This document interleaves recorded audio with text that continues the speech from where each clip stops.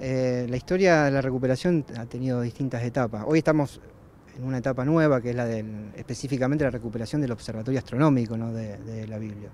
Empezamos ya hace 20 años, en el 2004, yo digo siempre la última etapa, porque hubo muchos intentos que fracasaron eh, desde el mismo momento de reinicio de la, democracia, en el año 84. Vigil fue intervenida en el 77, saqueada, eh, expropiado sus bienes, mal vendido, por una intervención eterna que todavía continúa en el 2004.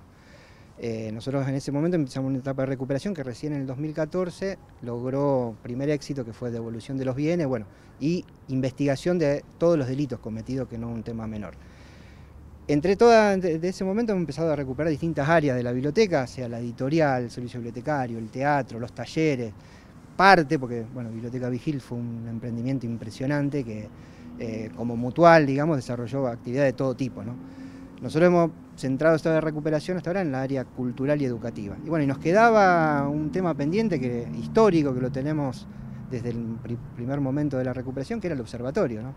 Vigil eh, monta este observatorio a fines de los años 60, único en ese momento prácticamente, muy poca experiencia en el país, había de este tipo de, de observatorio con la capacidad que tiene, eh, tenía el, telescopio y la lente, digamos, que se instaló. ¿Con qué se encontraron cuando subieron esas escaleras y cuánto faltaba para que hoy podamos decir que se pudieron hacer las primeras observaciones? Bueno, lo primero que yo digo es, hay una lente sustituta que yo sabía, esperaba que estuviera porque era una lente que se hizo tallar en el Observatorio de La Plata en el 98 eh, de 15 centímetros de diámetro, algo muy difícil de hacer y, muy caro además. Así que por suerte estaba, pero con 4 milímetros de tierra arriba. Así que con Roberto lo primero que hicimos fue desarmarla y ponerla abajo de una canilla para limpiarla pero nos encontramos con una cúpula que no giraba, que eh, no, no, abría ni siquiera, así que todos los motores desconectados, eh, con mucho óxido, eh, los ejes del telescopio, había uno que se movía, pero el otro estaba completamente bloqueado. Yo primero pensaba que era por un freno que tiene,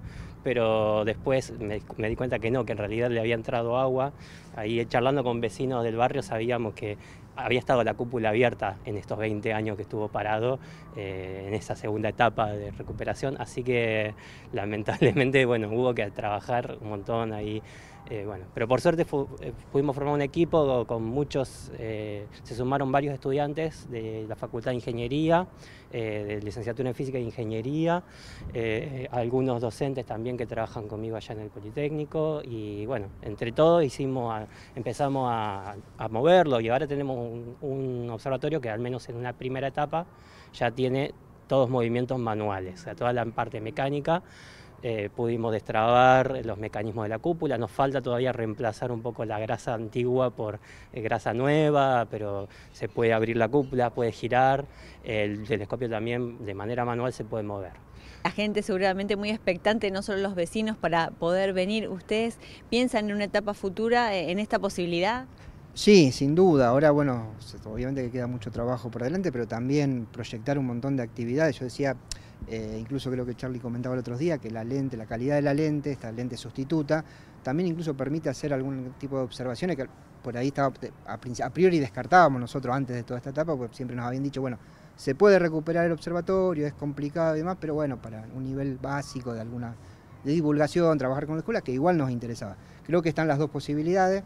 La idea es abrirlo a la comunidad, digamos, como todo lo que se hace en Vigil.